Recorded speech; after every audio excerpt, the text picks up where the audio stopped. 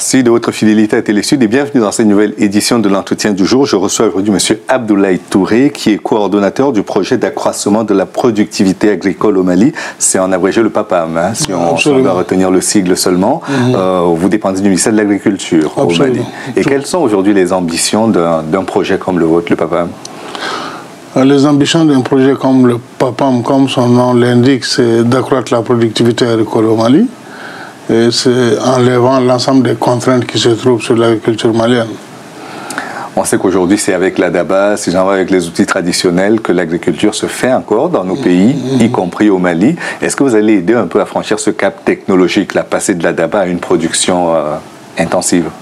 On va le faire, ça c'est déjà, le, ce pas est déjà franchi au Mali parce que euh, il y a seulement deux ans, le président il a fait venir quand même 400 tracteurs pour remplacer la, la, DABA dans les champs. Mais le, mécanisme agricole, la, mécanisation de l'agriculture reste un défi pour nos pays parce qu'il ne s'agit pas simplement d'avoir un tracteur pour lever la contrainte de la boue quand les autres contraintes ne sont pas levées.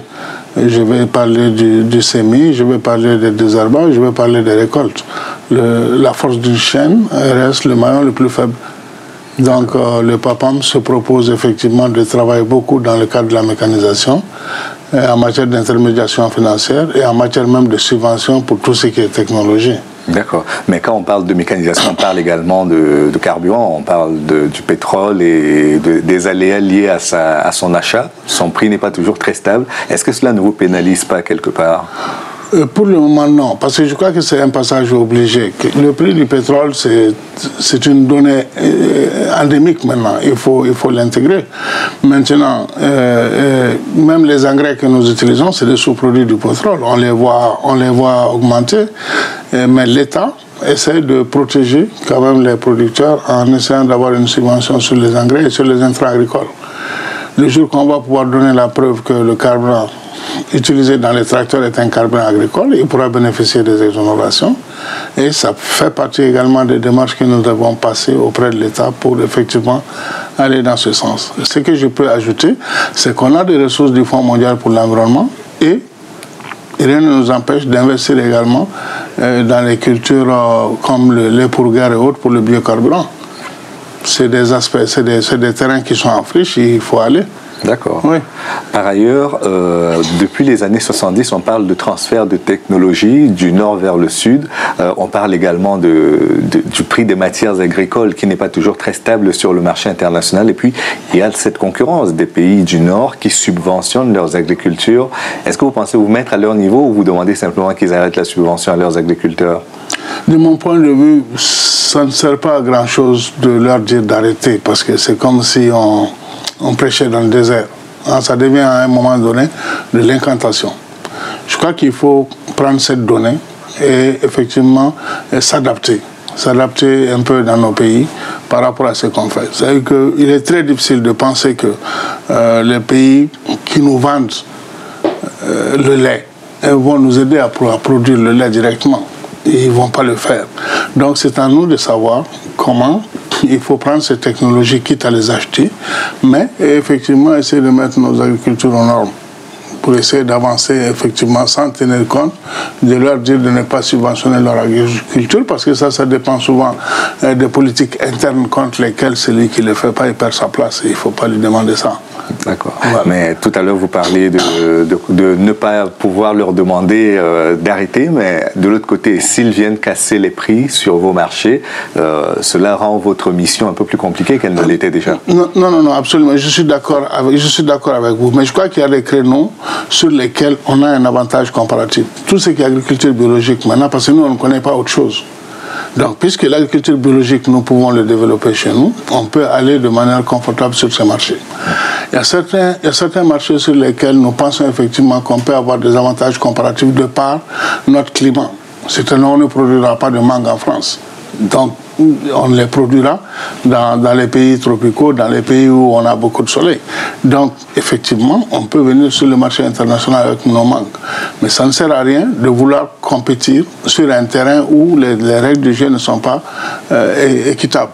D'accord. Jusqu'à présent, on accuse souvent les agricultures africaines d'être très exogènes, c'est-à-dire mhm. qu'elles produisent pour l'extérieur et elles dépendent pour, pour les devises de ces productions qu'elles vendent à l'extérieur. Mhm. Euh, et en matière d'alimentation intérieure, on a toujours de gros problèmes, des problèmes de, de, crise alimentaire, euh, que ce soit dans, le, dans les pays d'Afrique de l'Ouest ou d'Afrique centrale.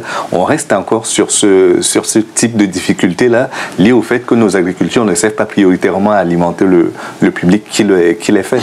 Non, non, non, je crois qu'effectivement, ça, c'est un ancien cliché. Ça, ça, ça, a passé maintenant. Parce qu'avant, qu'est-ce qu'on faisait? Si je prends un pays comme le Mali, notre culture d'exportation primaire, c'est le coton. Maintenant, le coton, à la limite, quand tu regardes combien de pourcentage de coton que nous produisons, et même transformé en fil chez nous, c'est 2%. Donc nous travaillons pour l'industrie de, de, de, de l'Occident et malheureusement c'est eux qui fixent aussi le prix de ces, de ces, ces produits, c'est eux qui subventionnent leurs producteurs. Donc effectivement les, les données ne sont pas très claires sur les marchés du genre. Mais maintenant, qu'est-ce qui était une contrainte au début? C'est sur les cultures ouvrières, on demandait à nos, à nos pays qui avaient besoin même d'engrais pour mettre sous les maïs ou sous les millets, il ne peut pas le faire parce qu'on dit que ce n'est pas une culture à rentabilité garantie. Donc pour le faire, il est obligé de l'adosser sur le coton. Donc les zones de coton, celui qui fait le coton, il profite de son coton pour pouvoir accéder aux intrants agricoles pour les cultures vivrières. Mais quand il y a eu le problème sur le coton deux ans au Mali, mais tout le monde s'est reporté sur les cultures vivrières, on est excédentaire. C'est peut-être cette année qu'on a eu un peu de difficulté avec les pluviométries, où on a un peu de difficulté pour pouvoir boucler. Mais sinon, il y a deux, trois ans, le Mali est excédentaire et nous envoyons des milles dans la sous-région, aussi bien au Burkina, au Niger qu'en Côte d'Ivoire. D'accord. Et aujourd'hui, sur la politique agricole du Mali, quelle influence vous avez? Quel apport vous, Quel est l'apport dont vous faites bénéficier le pays par rapport à la politique agricole, à côté du ministère de l'Agriculture À côté du ministère de l'Agriculture, ce que nous, on essaie de faire, euh, on a des ressources pour ça, c'est d'abord d'aller vers une agriculture durable. C'est-à-dire que nous sommes trop, beaucoup tributaires des, des, des aléas climatiques. Et donc, nous pensons que tout ce qui est gestion durable des terres, il faut aller dans ça. Et maintenant, on a une subvention du Fonds mondial pour l'environnement pour le faire. Maintenant, on a également dit qu'il faut moderniser nos exploitations agricoles. Vous parlez tantôt de, l'équipement, c'est peut-être le premier maillon, mais je crois que dans notre agriculture, on ne peut plus continuer à faire de l'agriculture de subsistance, on ne peut plus continuer à faire de l'agriculture familiale simplement. Donc, tous ceux qui ont un projet de modernisation de leur agriculture a un accompagnement naturel du, projet d'accroissement de la productivité agricole. Il y a un certain nombre également de, phénomènes que nous faisons, c'est que nous, on, importe, on ne vient pas avec le lait en Europe. Mais quand je prends le Mali, on n'importe pas moins de 15 milliards de francs CFA en produits laitiers tous les ans. Et donc là, ce qu'on fait maintenant, c'est importer les semences euh, de Montbéliard, des semences de, Holstein et de les croiser avec nos animaux pour gagner la ressourcité, mais pour améliorer leur productivité. Même si on ne peut pas venir concurrencer euh, les pays européens sur le marché mondial pour le lait, on peut au moins diminuer la facture que nous payons. D'accord. Voilà. Tout à l'heure, on parlait de, des objectifs. Euh, vous vous souvenez qu'au sommet du millénaire, on avait fixé des objectifs pour le continent africain et pour d'autres pays en voie de développement. Mhm. euh, vous, vous avez fixé une mission hein, qui va mhm. durer six ans, euh, depuis décembre 2010. Où est-ce que vous en êtes? En fait, ce qu'on peut, qu'on peut dire, c'est qu'on est en démarrage en fait, ce projet, ce projet d'accroissement de, la productivité, c'est un projet de deuxième génération. On a eu deux projets de première génération, l'un qui était le PASAOP que je coordonnais moi-même, et l'un, le programme d'infrastructure rurale. Euh, on a compris que l'infrastructure rurale, c'est les aménagements hydro-agricoles qu'il faut faire pour maîtriser l'eau, et, le PASAOP, c'était former les producteurs. Donc, l'un dans l'autre, ça ne peut pas être deux dossiers séparés. C'est pourquoi sur le PAPAM, nous les avons regroupés. Donc, aussi bien euh, dans le cadre du PAPAM, nous allons nous investir pour aménager encore de nouvelles terres, notamment dans la zone office du Niger. Mais euh, nous allons effectivement donner la possibilité aux producteurs eux-mêmes de choisir les axes sur lesquels ils pensent qu'effectivement ils peuvent être les meilleurs et qu'ils aient la liberté effectivement de financer leur développement. Et comment vous pouvez contribuer justement à ce financement-là? Parce que c'est l'un des volets également. Quand vous voyez le montage institutionnel de ce programme-là, c'est que tout ce qui est génération de technologie, transfert de technologie, est géré par la Chambre, la chambre nationale d'agriculture. C'est-à-dire que ce projet leur donne maintenant les moyens d'acheter les services dont ils ont besoin. On n'a pas besoin de financer une recherche pour aller faire une thèse. Quand il y a un problème sur le mille, le président de l'APCAM peut décider que, bon, chercheur qui peut m'aider à trouver la solution de ça, j'ai les ressources pour le faire. D'accord. Maintenant, quand il y a un paquet de technologies également sous les, dans les tiroirs des chercheurs, il peut amener ça pour effectivement dire, au lieu de continuer à faire la petite d'abat, à faire les semis en, en poké ou à semer à la volée, maintenant, voilà le genre de technologie que vous pouvez faire.